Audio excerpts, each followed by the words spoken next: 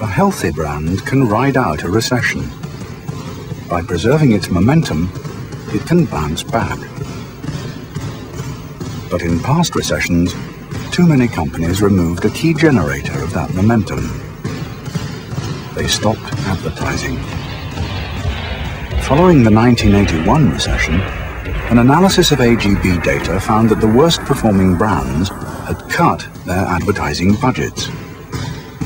The 15 top performing brands had all increased their advertising spend. The losers believed they couldn't afford to go on advertising. The winners knew they couldn't afford not to.